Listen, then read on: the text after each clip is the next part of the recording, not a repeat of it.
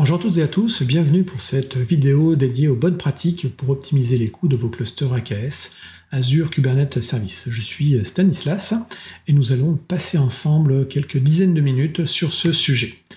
Donc, l'objectif de cette présentation est de vous donner les clés avant tout pour optimiser les coûts de vos clusters, que ce soit vos clusters en production ou vos clusters dans les environnements hors production, euh, d'Eventest notamment. Donc l'agenda sera le, suivant euh, euh, pour les quelques dizaines de minutes qui vont suivre. Euh, je vais faire un rappel rapide de ce que c'est que AKS, donc les différents composants qui le constituent. Ensuite, on verra si il est mieux d'utiliser un contrôle plein de dev ou de prod, comment gérer au mieux les temps d'instanciation et donc les temps de facturation des VM dans vos clusters. du coup, si on parle de VM, de savoir choisir les bonnes VM pour les node pool, donc au meilleur prix, d'optimiser également euh, le coût du stockage, et ensuite on terminera à la fin sur comment on visualise, comment on surveille les coûts, et je terminerai par une petite synthèse, et on va commencer euh, tout de suite par la première partie. Allez, on commence, euh, rappel rapide sur Azure Kubernetes Services. donc on est sur différentes approches pour pouvoir déployer du Kubernetes dans Azure. On peut utiliser l'approche historique consistant en gros à déployer un ensemble de machines virtuelles et à installer euh, soi-même les différents composants pour créer un cluster Kubernetes que vous allez donc gérer euh, de bout en bout, euh, de la création au maintien en conditions opérationnelles, avec les montées de version, le cycle de vie finalement traditionnel d'un cluster. Donc dans cette architecture dite historique, de, de l'infrastructure de service, basiquement on a quoi? On a des machines virtuelles qui vont constituer les masters donc ils vont constituer le contrôle plane, le centre de pilotage du cluster, ici en bleu, et puis on va avoir également euh, des machines en orange, ici les, workers ou les agents ou les minions, euh, qui eux vont faire tourner effectivement vos, vos workloads. D'accord? Donc ça c'est la première moyen de déployer du Kubernetes dans Azure. Aujourd'hui, comme la plupart des acteurs euh, du, monde du cloud public, on est sur des solutions Kubernetes qui sont, on va dire, à moitié ou partiellement managés. Euh, donc on va parler ici de deux services euh, managés, gérés ou de pass. On va voir effectivement que ici on a, euh, on deux, composants.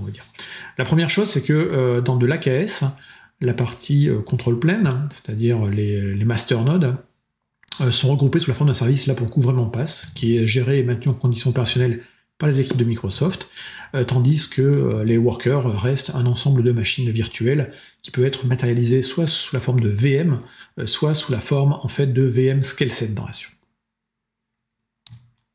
Alors, cette architecture, elle est vraiment, comme je disais, un semi-managé dans le sens où c'est vraiment le contrôle plein d'Azure qui va être un service géré par les équipes d'Azure et donc maintenu en conditions opérationnelles et disponible par les équipes d'Azure alors que les workers, eux, seront des VM qui seront, entre guillemets, à la charge du client, même si elles sont néanmoins pilotées hein, par le centre de pilotage, donc il y a beaucoup de choses qui sont quand même automatisées pour vous. D'accord?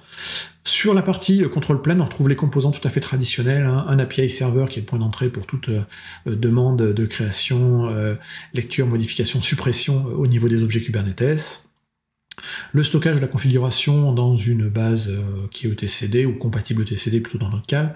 Et puis ensuite les deux composants traditionnels, hein. le contrôleur manager qui va contrôler en fait l'état du cluster par rapport à ce qui est demandé euh, dans la configuration. Et c'est au scheduler de choisir euh, où déployer dans le meilleur endroit dans le cluster les nouveaux workloads ou les nouvelles ressources. Côté des machines virtuelles, on va avoir euh, effectivement le composant traditionnel qui est le kubelet, le représentant légal des serveurs euh, côté euh, des workers.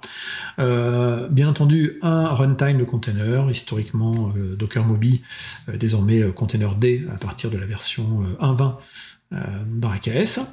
Et puis bah, tous les composants liés à la partie networking, le kubeproxy. Donc tout ça est installé pour vous de manière automatisée parce que c'est un service manager. Vous n'avez pas bien entendu à à venir sur les VM euh, côté worker et installer vous-même le kubelet ou le kubeproxy ou autre chose.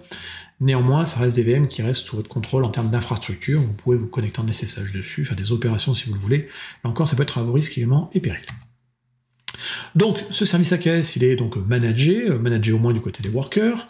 Il est relativement facile à mettre en œuvre. Hein. Créer un cluster Kubernetes, euh, il n'y a pas besoin d'être un expert pour le faire. Il suffit juste de suivre, soit via le portail graphique d'Azure, un assistant connaissant à peu près les, options à mettre à l'intérieur, soit d'utiliser euh, la ligne de commande, l'Azure CLI ou le PowerShell, voire on peut également déployer des clusters Kubernetes AKS avec de l'Ansible ou avec du Terraform ou d'autres langages d'infrastructure as code. C'est facile à gérer un AKS, euh, facile, euh, vous remarquez les guillemets, les montées de version sont relativement simples parce qu'elles sont automatisées, donc on dit vers quelle version on veut aller, et tout le système est automatisé pour vous pour faire cette opération de montée de version sur l'ensemble des composants du cluster. De la même manière, augmenter la taille ou réduire la taille d'un cluster est relativement simple également, c'est encore automatisé par la plateforme. Le control plane étant un service PaaS, euh, donc un service managé par, euh, par les équipes de Microsoft, on a bien entendu du self-healing euh, de ce control plane. Ce control plane, s'il a un problème, effectivement, il sera corrigé, réparé par nos équipes. Dernière chose, on est sur du 100% upstream Kubernetes. On n'a pas de choses très particulières, euh, on n'a pas de ligne de commande particulière, euh, enfin d'outils particuliers euh, pour attaquer et, modifier ce cluster. On reste sur le kubectl principalement, et puis bien entendu on a les lignes de commande Azure pour aller créer ou modifier la configuration de la ressource Azure en tant que telle. On va commencer avec le control plane en termes de, en termes de coûts et d'optimisation de coûts. Donc le control plane est un service qui est gratuit par défaut. Euh, par défaut, quand vous créez un cluster Kubernetes, en passant soit par l'assistant, soit par ligne de commande, si vous ne précisez rien, vous aurez un control plane qui est euh, gratuit. Donc vous ne paierez pas pour ces masters. Vous n'aurez néanmoins pas de SLA dessus, pas de Service Level Agreement, euh, dans le sens où un Service Level Agreement est un accord contractuel qui dit ben, si on ne respecte pas nos engagements, on rembourse à hauteur de ce qu'on n'a pas respecté c'est assez difficile de rembourser euh, du gratuit.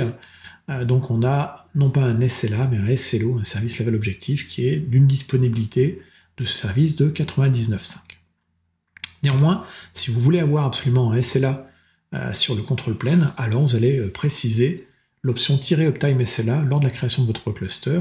Et à ce moment-là, effectivement, on va facturer ce contrôle plane à l'heure et donc on aura un SLA qui sera associé à ce contrôle plane, SLA de 99.9 pour des clusters qui n'utilisent pas les zones de disponibilité, les availability zones, disponibilité de 99-95 si vous avez des clusters sur lesquels les euh, worker nodes sont dispatchés sur plusieurs zones de disponibilité.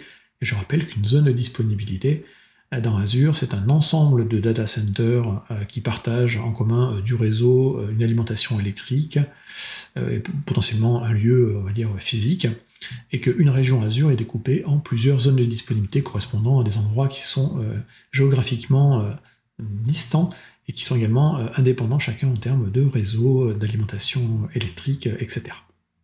De climatisation et tout ça.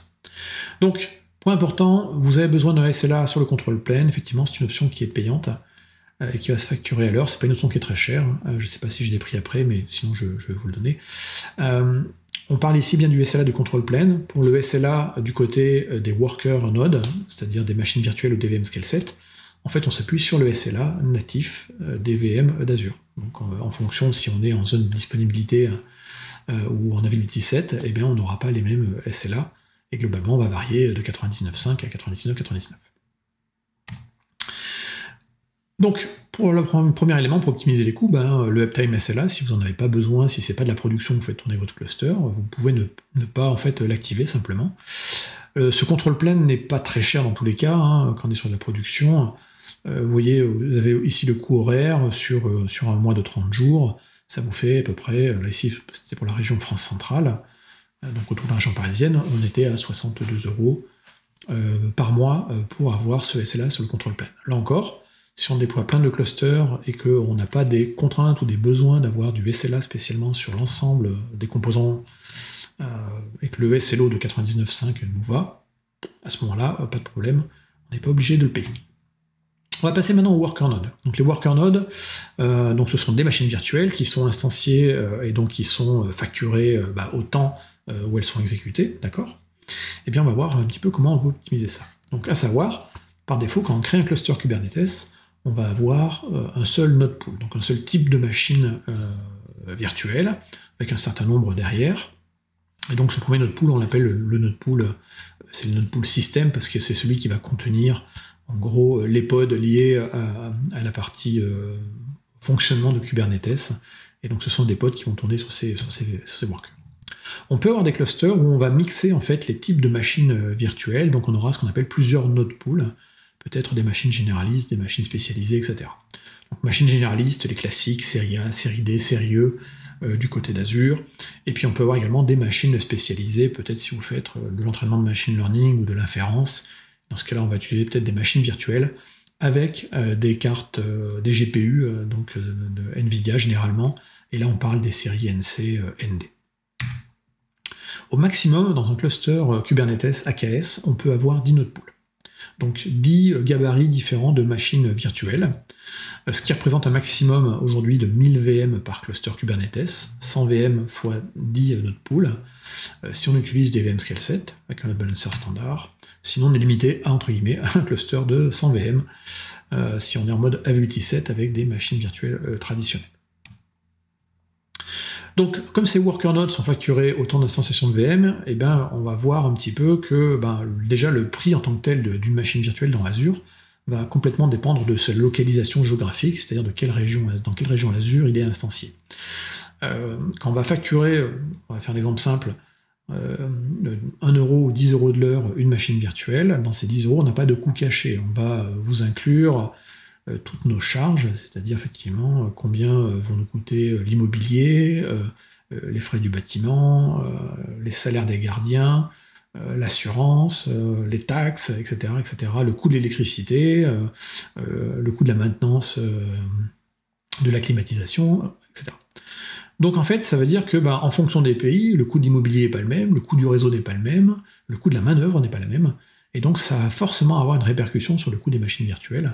Et donc, euh, bah, ce coût va, vraiment évoluer d'une région l'autre. Donc si par exemple on prend les régions euh, de l'Asie du Sud-Est, Singapour, ou, euh, ou, le Japon, ou Hong Kong par exemple, ce sont des endroits en fait où l'immobilier coûte assez cher. Donc un data center, qui est quand même normalement assez grand, risque d'avoir un coût qui ne sera pas neutre. Donc les data centers par exemple à Singapour sont en tour simplement parce que le coût immobilier au mètre carré au sol est super élevé. Ce qui n'est pas le cas par exemple dans l'ouest des États-Unis, euh, ou quand on est par exemple à Quincy, qui est un, trou perdu de nulle part, euh, quelque part à 2h30 à l'est de Seattle, bah, le coût immobilier, le coût de la terre n'est pas très important. Et donc du coup, forcément, ça se répercute après sur, les machines. Donc retenez globalement que dans les pays, dans les zones, les régions les plus chères, on est plutôt effectivement sur l'Asie, l'Asie du Sud-Est.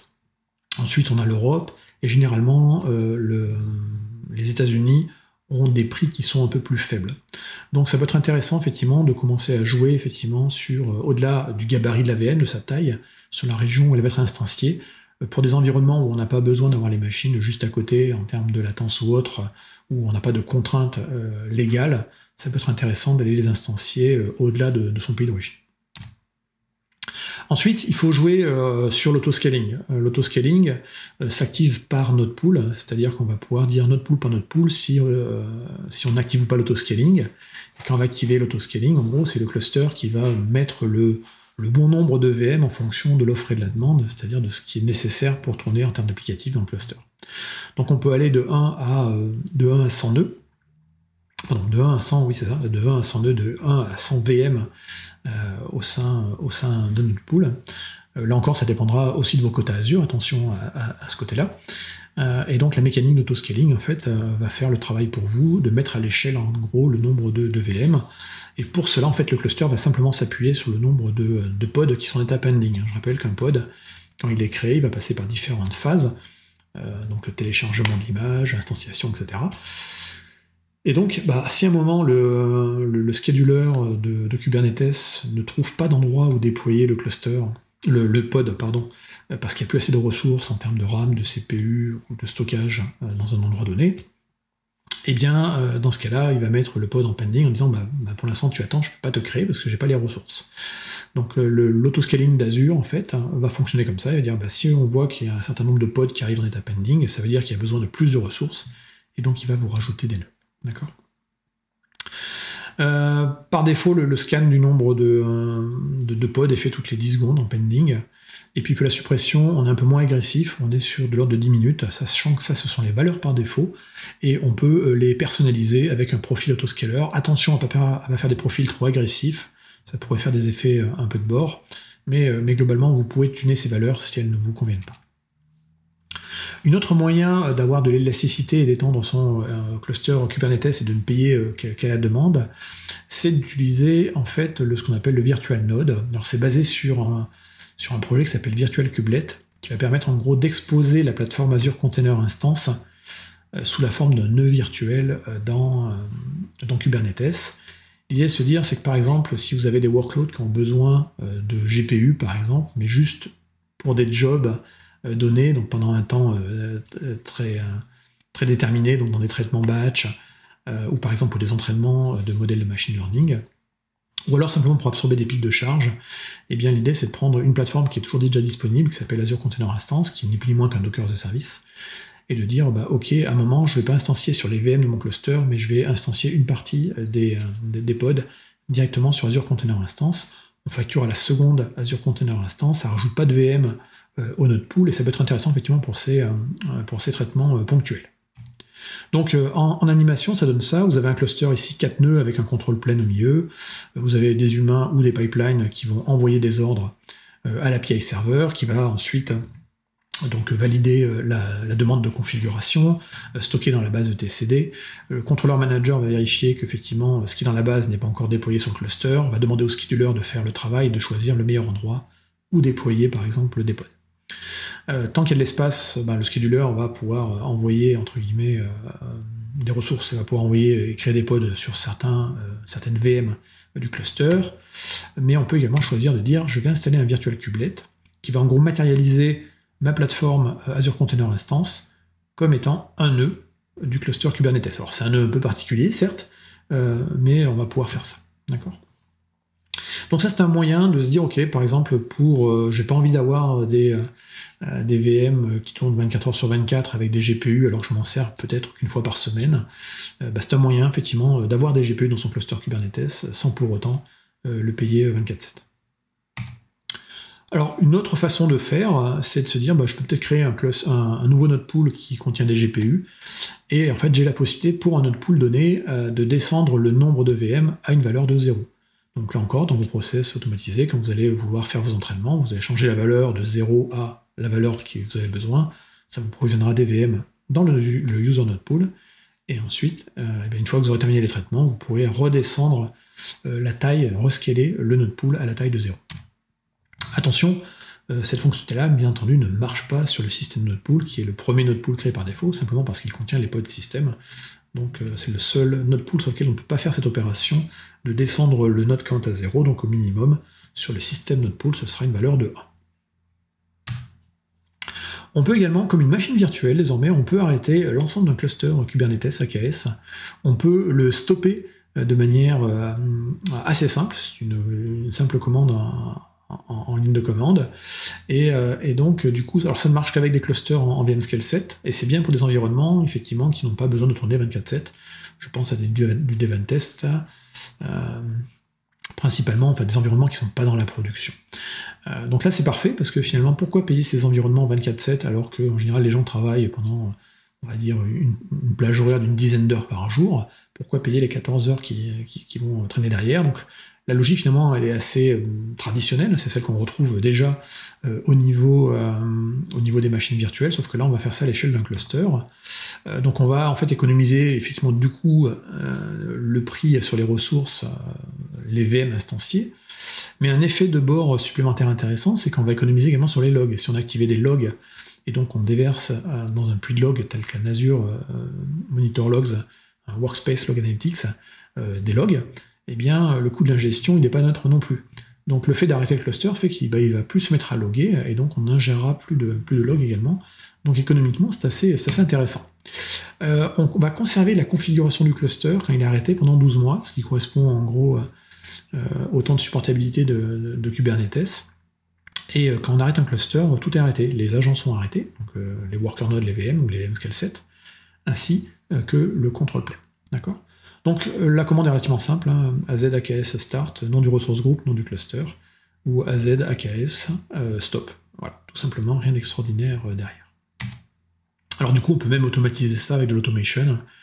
Euh, et dire bah, par exemple tous les soirs euh, à 20h, euh, je lance un arrêt de mes clusters Kubernetes.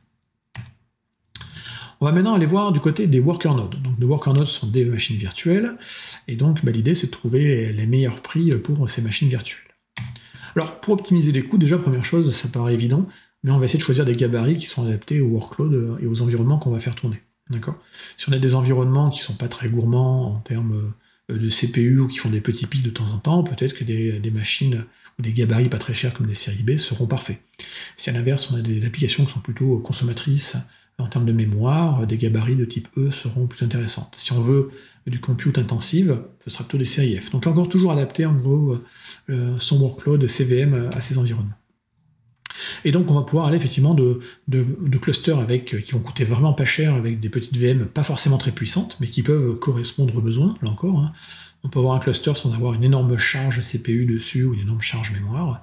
Donc on peut commencer effectivement souvent avec des séries B, on peut même faire des clusters, vous voyez, qui sont relativement petits, euh, parce que si on met une seule VM dans un cluster, un cluster mononeux, on pourrait presque s'en tirer pour... Alors là, écrit 2,31€, ça sera plutôt une série B1S, il faut au moins une B2S pour, euh, pour de. Donc on va dire que pour une dizaine d'euros par mois, vous pouvez faire tourner un cluster en, 24-7 avec une série B, avec une, un mononœud.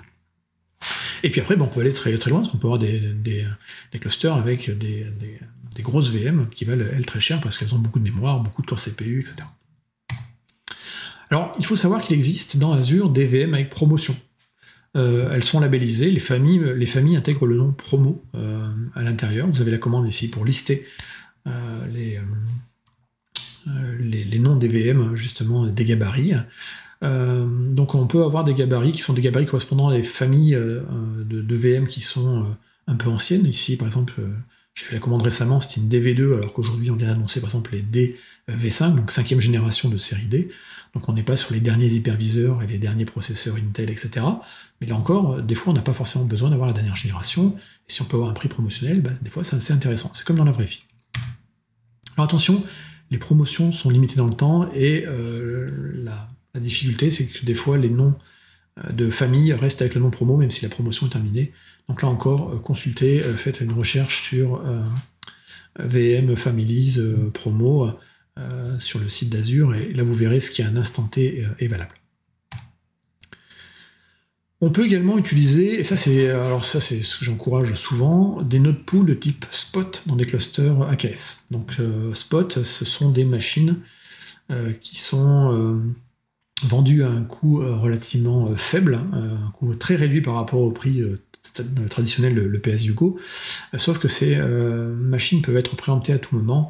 On fonctionne en gros sur une offre selon le principe de l'offre et de la demande si sur certains gabarits on a très peu de demandes et du coup on a beaucoup d'offres, plutôt que de rien faire, on préfère les vendre moins cher. Et si à un moment euh, la demande, l'offre et la demande s'inversent, eh bien on peut récupérer des machines qu'on vendait pas cher pour les revendre à un prix normal. Euh, donc on peut associer des VM Scale 7 à des, euh, VM Azure Spot. du coup, on n'a pas de SLA parce que ces, VM peuvent être préemptés à tout moment, donc il y a à peu près 30 secondes, on prévient 30 secondes avant de préempter la VM. Là encore, dans le cas de Kubernetes, si des workloads sont sur ces, sur, sur ces VM, ils vont être terminés et ce sera euh, le, scheduler euh, qui va, le, contrôleur et le scheduler qui, vont travailler ensemble pour redéployer en gros les workloads sur des nœuds qui seront, encore disponibles. Euh, donc c'est parfait en gros, les, les, CVM sont parfaites pour des, pour des workloads spécifiques. Kubernetes est un bon workload pour ça. Euh, mais surtout les applications qui vont tourner dedans, donc euh, tout ce qui est batch, entraînement de dev test, euh, c'est parfait pour ça. Donc vous pouvez imaginer des clusters Kubernetes AKS avec des node pools où il y a des VM qui sont soit réservés, soit en mode en PSUGO, et puis à l'intérieur de ce même cluster, des node pools de type spot. Ça va rajouter de la puissance, certaines caractéristiques, par, par, exemple sur des VM avec des GPU, mais pour un prix qui sera beaucoup très inférieur à un prix en PSUGO. Alors comment, comment on définit tout ça? Alors là encore, ça, se fait aujourd'hui dans les interfaces en ligne de commande ou, en phrase code. Vous allez ici créer un nouveau node pool. Et ici, vous avez des, options. Donc le tiret priority spot veut dire qu'on va prendre des machines spot. Si on ne met rien de base, c'est régular. Ensuite, on choisit la, politique d'éviction et le prix maximum qu'on est prêt à payer par VM. Si on met moins 1 pour aller du coup jusqu'à la valeur euh, PS Hugo. Euh, et puis la politique d'éviction, c'est soit on supprime la VM, soit on la désalloue. Dans tous les cas, on n'a pas d'attachement à avoir avec des VM dans, euh, dans AKS, parce que ce sont des VM scale 7 et c'est recréé à la demande. Donc on va lancer cette commande, on crée ici un nouveau node pool entre une et trois VM en mode autoscaling. Et puis là, il va me provisionner ici, parce que j'ai demandé du spot, des VM spot. Donc là, mes VM sont en train d'être créés. Euh, je récupère mes nœuds, donc là, ils sont en train de finir d'être créés. Et ensuite, ce qu'il y a de particulier sur ces VM-là, dans Kubernetes, dans AKS, c'est qu'on a des labels spécifiques qui vont effectivement dire bah, Kubernetes Azure, euh, scale set priority égale spot. Donc là, on sait que c'est des VM spot. Et les nœuds, effectivement, sont teintés en spot et euh, no schedule. Du coup, quand vous allez vouloir déployer de manière implicite euh, des workloads sur euh, ces node pools, eh bien, on va jouer sur les tolérations, tout simplement. Et donc, on va venir préciser ici qu'on veut avoir un scale set priority qui est égal à spot en mode no schedule. Et on peut le vérifier une fois que les pods sont déployés, qu'effectivement on est bien sur les node pools de type spot. Donc c'est vraiment super intéressant, euh, d'autant qu'en fait, euh, la politique d'éviction et le prix va vraiment dépendre des régions et va dépendre euh, du temps. Donc quand on veut avoir des informations sur la partie spot, on peut aller dans les, dans les options de création d'une VM dans Azure, et quand on précise ici qu'on veut une spot instance, eh bien on, peut, on peut donc choisir la politique d'éviction, et ensuite, ce qui est très intéressant, quand on choisit la taille de son gabarit, ici, c'est qu'on a une petite zone ici qui s'appelle View Pricing History and Compare Price in Nearby Regions. Ce qui veut dire basiquement, c'est que vous, avez en fait trois mois d'historique de l'évolution des prix, encore, hein, c'est de l'offre et de la demande, donc ça évolue comme de la bourse, de l'évolution du prix de, ce gabarit-là que vous avez choisi, dans cet exemple ici, c'est une NC6 SV3, donc une NVIDIA pour faire du compute, avec donc un GPU derrière, ça doit être un, un P100 si je dis pas de bêtises. Euh, et donc V3, troisième génération, S pour SSD. Donc vous voyez, c'est comme une machine qui a 6 VGPU, 6 VCPU, pardon, euh, et 112 Go de RAM. Donc c'est quand même pas neutre. Et ici, on a un prix qui est à peu près de 30 centimes, 30 euh, cents plutôt, c'est dollars par heure. Quand on va cliquer sur, sur ce lien ici, on va avoir un graphique qui va apparaître euh, et, donc ce, graphique va vous donner en fait l'historique effectivement sur les trois derniers mois. Donc on peut choisir également ici la devise. Euh, avant c'était que le US dollar, maintenant on peut a priori changer les, valeurs et mettre par exemple de l'euro. Et donc là on voit ici que sur la région East-US, donc là c'était ici où je voulais créer ma VM, le prix donc est de 30 centimes, à peu près 30, 30 cents, avec un taux d'éviction de 5 à 10%. Donc ça veut dire qu'en gros, j'ai 5 à 10% de chance que ma VM soit préemptée euh, par rapport à l'historique de ce qui s'est passé dans un data center. Si je regarde la région à côté, un, peu proche de East US 2, East US, on voit que le prix ici est un peu plus cher, même deux fois plus cher euh, en spot, avec un taux d'éviction à peu près similaire. Et quand on voit le Canada, bah, le Canada c'est encore plus cher. On voit qu'ici on a 0,75 cents, avec un taux d'éviction encore de, de 0,5%. Donc assez faible, mais avec un prix qui déjà est doublé. Et donc là, vous allez pouvoir choisir en spot, en fait, quel est euh, le prix maximum que vous êtes prêt à payer, sachant qu'on va vous dire vous pouvez pas payer, euh, vous pouvez pas proposer en dessous de telle valeur, c'est-à-dire en gros combien ça nous coûte pour euh, simplement faire tourner la, partie compute. Alors on va prendre la calculatrice, on va faire un exemple, on va reprendre l'exemple qui, est précédent. Donc j'avais pris ici une, grosse machine, 112 Go de RAM, 6, vCPU, du SSD, donc coût en PS Hugo, si on le, on le paye normalement, ça coûterait 1833,76 euh, euros par mois. Euh, du coup, j'ai fait la même chose, le même calcul avec du spot au même moment. Au même moment, donc on a le prix ici de 0,30 euh, cents US dollars, 730 heures sur le mois. J'ai la valeur ici en US dollars et j'ai fait la conversion le jour J en euros. Et donc, vous voyez que le ratio ici, il est quasiment, bah, il quasiment, il est à peu près de, 90%. Donc, en utilisant du spot ici, eh bien, en fait, je divise par 10 ma facture. Donc c'est-à-dire je pourrais avoir un, autre pool de 10 VM qui me coûterait exactement euh, la même chose, donc 10 VM spot euh, versus euh, une VM tout simplement. Donc là encore, quand on est sur des, traitements qui peuvent être interruptibles, un entraînement, machine learning, c'est pas grave en fait s'il est arrêté, on peut le relancer. un batch au sens large, c'est pareil. Et puis après, il y a certains workloads. Si on les a dispatchés sur plusieurs node pools, on peut se dire, bah, il y a une partie du workload qui est sur le node pool euh, qui est en PSUGO, donc il sera toujours disponible, mécanique de Kubernetes, et puis bah, le reste, c'est du bonus. Voilà. Donc c'est vraiment très intéressant, sachant que ici, effectivement, on était sur un taux d'éviction de 5 à 10%. Donc vous avez ici une réduction de 90% du coût, avec un risque de 5 à 10% que la VM soit arrêtée. Donc c'est plutôt assez intéressant dans le cadre de, Kubernetes. Donc regardez euh, les VM spot. Une autre façon d'économiser de l'argent, ou d'optimiser ses coûts, pour être plus précis,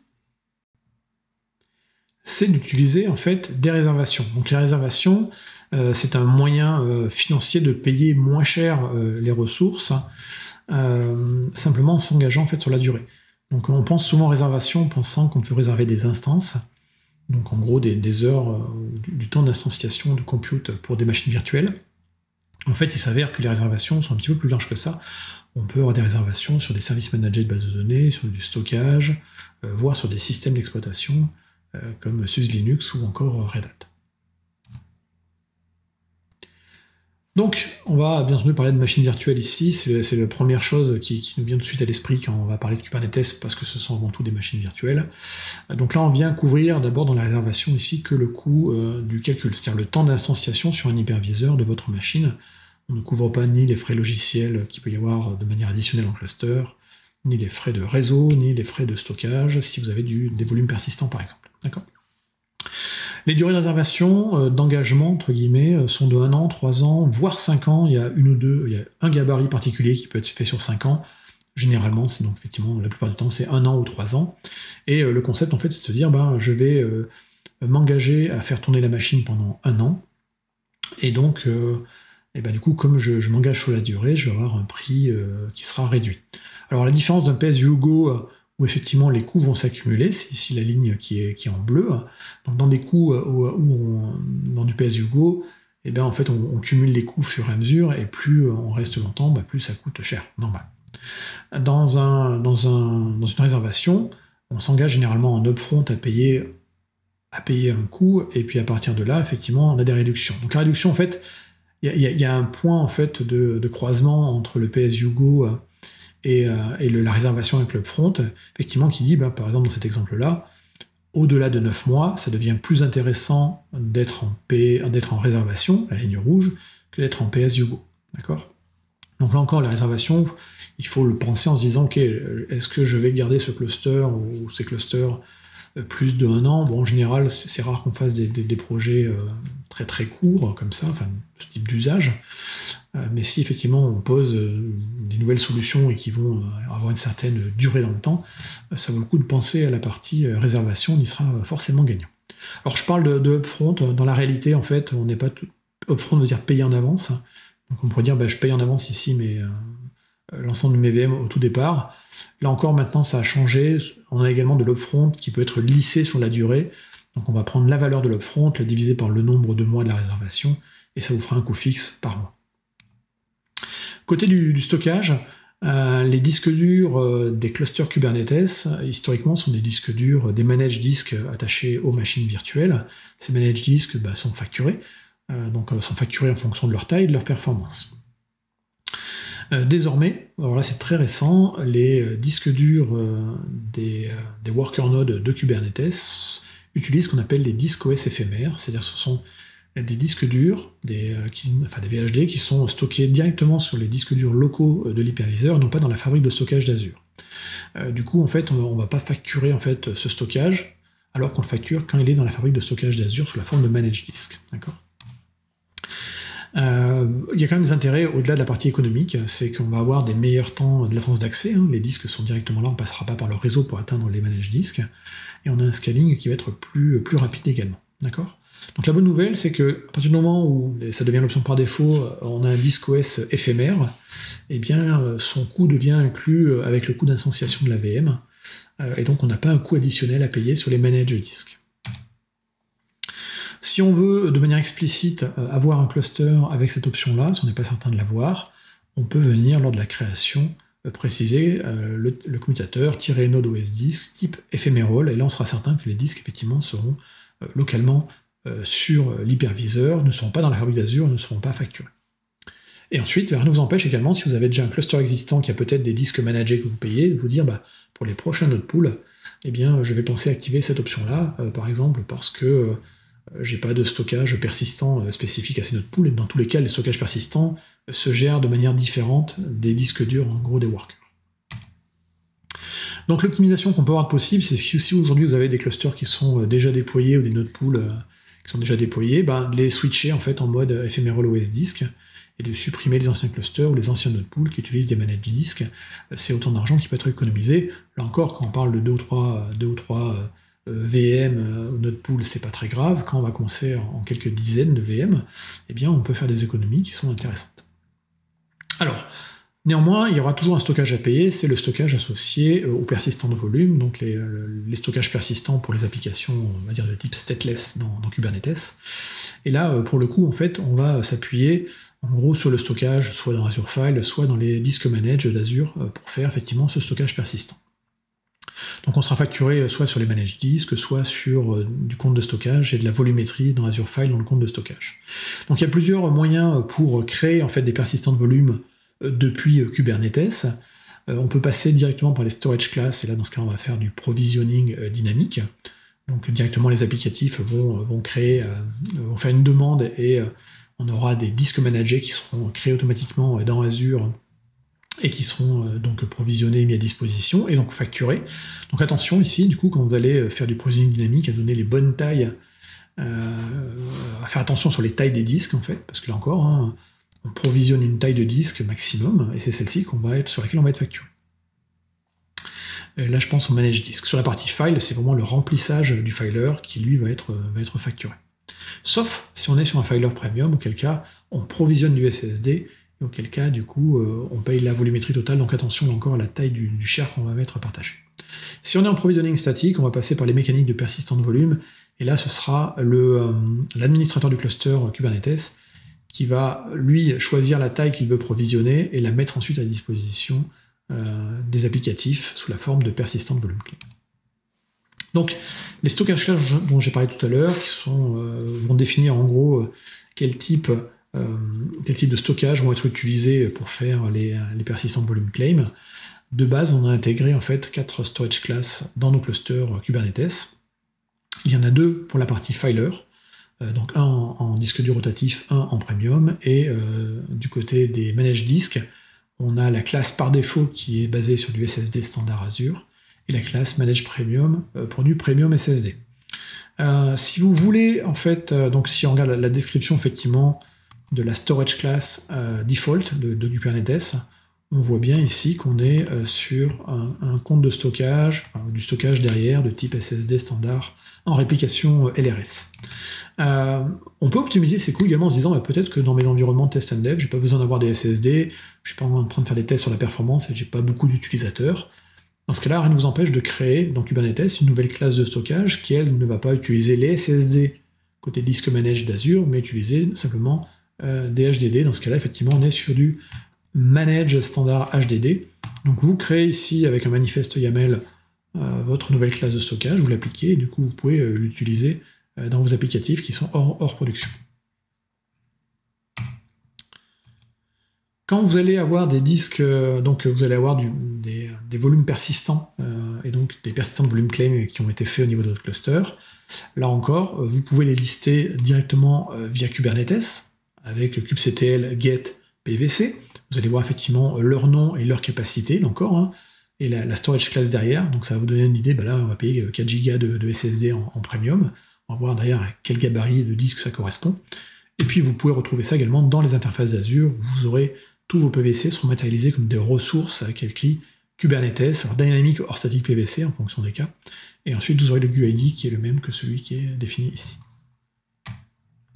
Donc, sur les disques, comment on peut économiser si on a des, applications euh, euh, stateful qui utilisent des disques managés euh, et puis qui les utilisent pendant longtemps On peut faire des réservations également sur la partie disque manage d'Azure, donc sur les tiers SSD premium uniquement, sous réserve que ces disques dépassent le 1 Tera de stockage jusqu'à 32 Tera. Donc ça ne marche pas pour des petites volumétries comme 4 Go, ce que je vous ai montré tout à l'heure.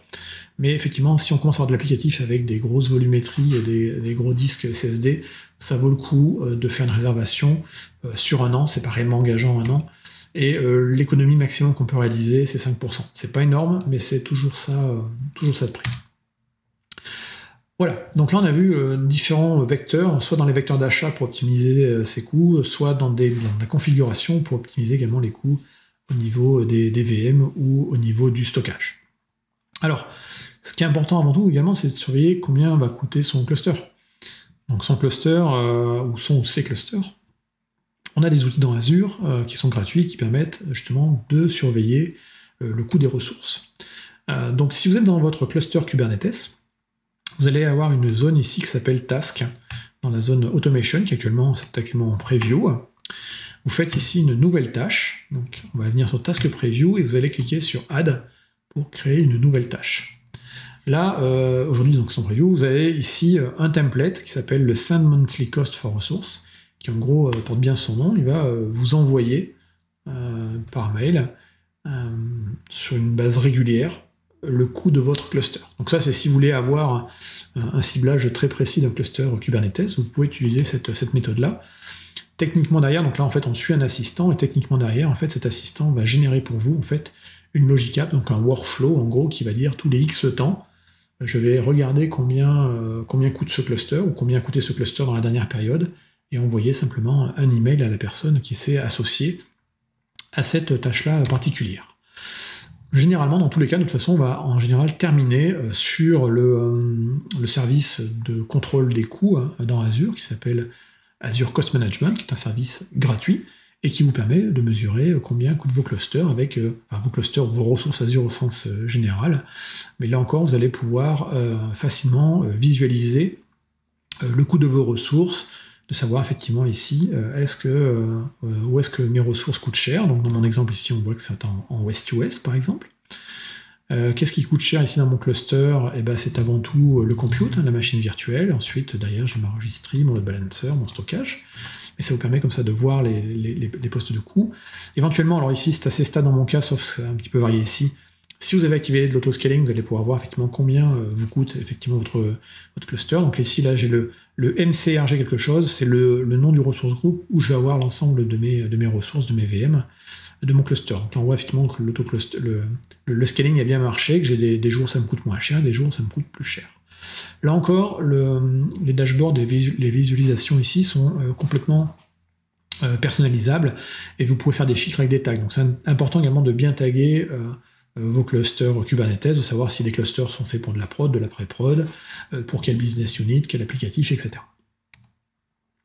Maintenant vient le cas euh, plus compliqué de dire ok j'ai un cluster qui me coûte un certain prix parce que je l'ai vu ici dans Azure Cost Management, mais c'est un cluster en fait où on a mutualisé plusieurs plusieurs applications qui correspondent à différents business units et après ben, on aimerait savoir un petit peu du coup savoir à l'intérieur de ce cluster qu'est-ce qui coûte cher, etc. Donc là, c'est là où s'arrête la limite en fait d'Azure. Nous, on va mesurer les ressources, la coquille.